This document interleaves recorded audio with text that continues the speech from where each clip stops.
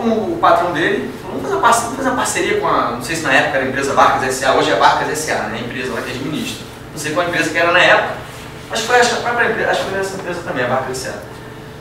Aí ele pegou, conversou, o patrão dele conversou com o dono da, das barcas lá e falou, poxa, vamos botar aqui um som aqui. E aí ele percebeu também que muitas dançarinas de cabaré, elas vinham de, do, de Niterói para o Rio de Janeiro à noite. Aí falou, se eu puser uma musiquinha, essas dançarinas, quem sabe elas, elas se animem. Fiquem animadinhas, vai todo mundo dançar, de repente os rapazes vão dançar também aqui dentro. Né? Aí, é claro que a, as barcas não viraram como vocês pensam mas virou um ambiente pelo menos divertido. E aí ele falou o seguinte, bom, as pessoas estão dançando aqui dentro, elas vão sentir sede. Pessoal, ele começou, com base nisso, ele começou a vender é, Guaraná, cerveja dentro das barcas. Ele se tornou, olha só, dentro das barcas, ele se tornou o maior vendedor da Antártica do Rio de Janeiro. Você acredita nisso? Dentro das barcas. O maior vendedor do Rio de Janeiro. Aí ele falou, pô, as pessoas estão dançando, estão bebendo, nós também vamos querer jogar bingo. Começou a colocar bingo lá dentro. Que dar dinheiro, né? Aí ele começou a colocar bingo lá dentro e aí, quer dizer, ele transformou uma coisa que era chata, uma viagem que era cansa, chata, cansativa até, até porque o que é chato se torna também cansativo, igual essa palestra vai se tornar daqui a pouco. E aí, aí ele começou a fazer isso, ter uma diversão, lucrar com aquilo ali, e enfim, começou a se, se tornar conhecido, ter, ter dinheiro com esse negócio.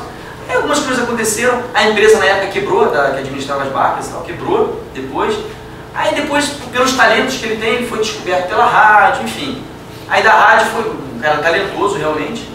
Da rádio ele foi, foi, foi pulando e tal, hoje em dia ele é o que é. Ok? Então só para vocês entenderem como é que ele foi identificando oportunidades com base em, uma, em um raciocínio só, em uma premissa só. As pessoas têm necessidades. Prestem atenção que eu vou dizer para vocês. As pessoas têm necessidades. Se eu fizer o casamento das necessidades das pessoas, com o meu talento, eu crio ali uma oportunidade de negócio. Então, com base nesse raciocínio, ele falou, poxa, as pessoas precisam disso. Eu sou bom nisso. Poxa, por que a gente não faz um casamento perfeito aí, né? E vamos dessa, é, desse limão fazer uma caipirinha. O pessoal fala limonada, eu gosto de falar da caipirinha, que eu acho melhor, você entendeu? É, então, assim, ele identificou, ele identificou os dois pontos ali e uniu um ao outro. Isso, portanto, faz com que ele seja de fato um empreendedor. E foi assim que ele foi fazendo, depois teve o baú da felicidade, aquela coisa toda. Bom, tem um outro, é, um outro personagem que eu poderia falar para vocês também aqui, seria o próprio Bernardinho do vôlei. Você vê, ele não é. Ele, ele até hoje ele tem negócio também. Mas ele, antes de ter negócio, ele sempre teve muito sucesso lá no vôlei. Isso faz com que ele seja um empreendedor. Aquele cara que pensa, planeja, tem lá as suas ideias e ele consegue colocar em prática e fazer com que tenha sucesso. Isso faz de Bernardinho também um empreendedor. Depois ele acabou tendo, montando negócio, diretor de uma cadeia de restaurantes no Rio de Janeiro, não sei se tem aqui em São Paulo, que é a, acho que é Delírio Tropical, eu não lembro agora o nome de cabeça, mas é uma cadeia, uma rede, uma série de restaurantes. Bom, então, voltando lá ao David McLean na década de 60. Ele reunia as características que ele falou, essas são as características próprias de um empreendedor, depois a ONU mesmo, ela foi e resumiu essas características em 10, que a gente chama de 10 CCEs, que nada tem a ver com aquela televisão, né? Comecei com o Brian Hart, o pessoal fala brincando aí. Então essas 10 características de comportamento empreendedor, é sobre elas que a gente vai falar no início aqui, e elas que vocês têm que identificar em vocês e trabalhar. Primeiro, estabelecimento de metas. Bom, Primeira coisa, pessoal, para vocês serem empreendedores, para vocês se tornarem empreendedores, como eu falei, não é só para ter negócio, mas para empreender, empreender até na academia mesmo. Vocês têm que pensar isso, estabelecimento de meta. O que, eu quero? O que, eu quero fazer? O que, eu quero ser? Sabe quando a gente brinca, quando a gente é criança, pensar, o que você quer ser quando crescer? É uma pergunta que a gente tem que fazer sempre para a gente. Mesmo se eu, que, que eu tenha 20 anos, 30, 50 ou 90 anos. Ainda falta um pouquinho, né? Eu tenho que pensar o que eu quero ser, o que eu quero fazer pelos próximos anos. É uma reflexão interessante. Vocês já pensaram nisso? Vocês já se imaginaram daqui a 5 anos? Pessoal, tá boa, uma reflexão. Vocês já se imaginaram daqui a 5 anos o que vocês vão estar fazendo daqui a 5 anos? Daqui a 10 anos, um pouco de cabelo branco, menos fios de cabelo, tudo caído. Né? Já pensaram que a 5 anos, 10 anos, 15 anos? A gente tem que pensar. Eu não estou falando que a gente tem a bola de cristal, mas a gente tem que fazer esse exercício de criar cenários para que, claro, sendo cenários factíveis, coisas concretas, realizáveis, atingíveis, eu consiga me planejar. A única forma de eu programar é estabelecendo meta. Agora, se eu nem sei o que eu quero da vida, como é que eu vou me planejar para alguma coisa? Empreendedor não pode ser na base, aquela música lá do, do cara lá, deixa a vida me levar, vida leva eu. Se você tem, se você quer empreender na vida, você tem que deixar essa música de lado. Deixa essa música só com churrasquinho lá e tal. Agora, não leve ela com filosofia de vida. Ok? Bom, primeira coisa é o seguinte, o que é meta? Meta é muito diferente de sonho, tá pessoal? Depois eu distingo para vocês. Primeira coisa, tenho uma meta. Mas a minha meta é algo assim muito genérico. É uma coisa, ah, não sei, eu quero um dia ter uma empresa. Eu conheço muita gente que fala, qual é a sua meta, a sua grande meta de vida? Ah, eu quero ter negócio. Ah, que negócio? Não sei. Quando? Para quando você... Ah, não, não sei. Deixa... Aí começa, né? Deixa a vida me levar, a vida leva eu. A primeira coisa, a meta tem que ser específica. Luciano, meu negócio é o seguinte, estou estudando química, estou me aperfeiçoando e tal. Eu quero ter uma indústria de cosméticos, pequena que seja no início. É assim que a gente começa. Né? Eu também não tenho muito capital para dispor. Mas é isso que eu quero. Eu gosto de ver as coisas é, saindo do campo das ideias e elas tomando forma e tal. E depois as pessoas comprando os meus produtos, eu acho que isso me motiva. Então eu quero ter um negócio. Mas que seja específico, pessoal. Pense, quero ter uma empresa de cosméticos mas que tipo de negócio, que tipo de cosméticos? Quando que vai ser isso? Qual vai ser o porte que eu quero dar ao meu negócio? De acordo, claro, com a minha situação de vida. Vocês entenderam? Mas isso começa a colocar no papel. É o primeiro passo para a gente desenvolver o nosso plano de negócios, que eu vou falar sobre ele daqui a pouco, ou business plan.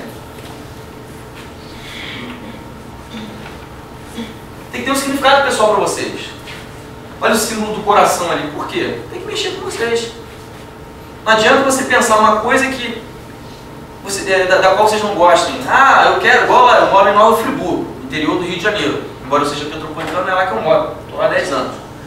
Não sei se vocês conhecem Friburgo, eu tirei como uma capital da moda íntima, aquela coisa.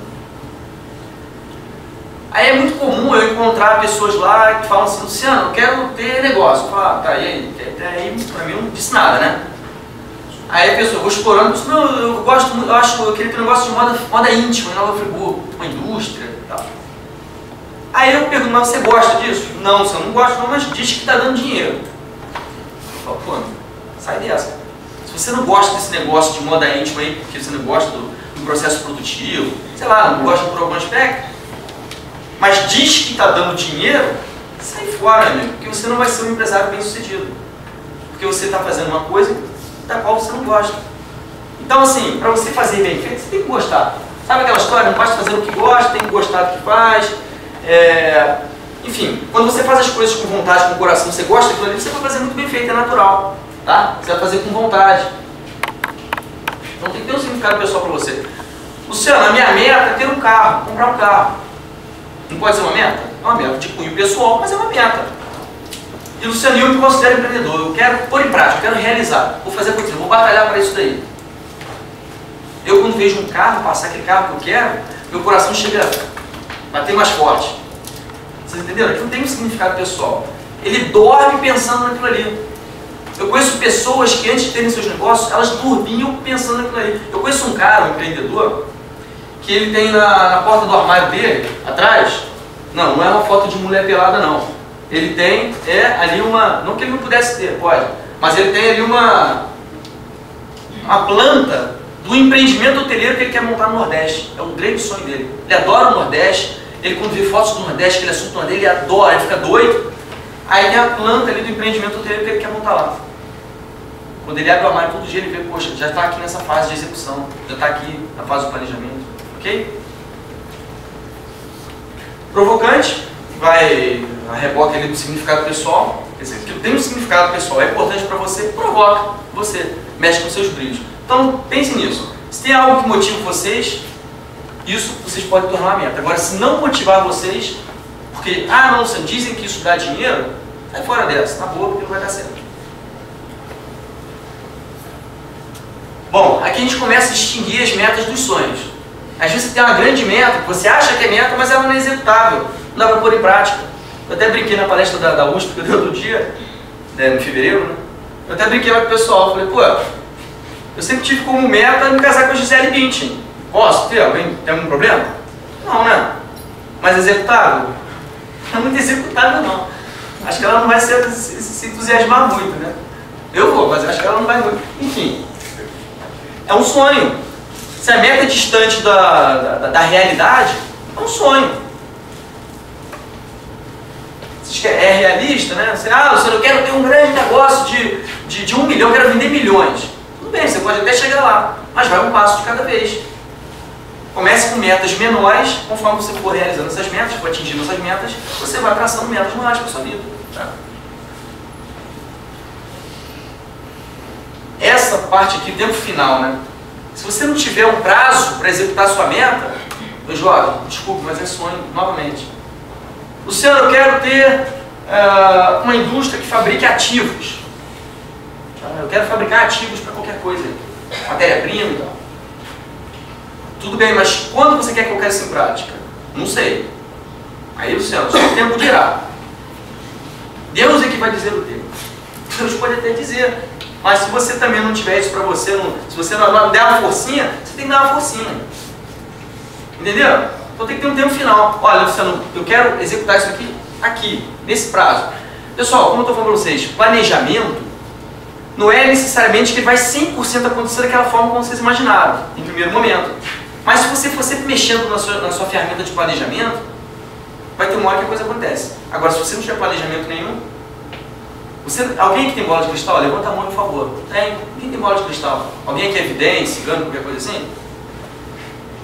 Discípulo de Nostradamus? A gente não tem bola de cristal. Mas eu posso traçar alguns cenários, eu coloco algum prazo lá e vou me planejando para chegar naquilo lá.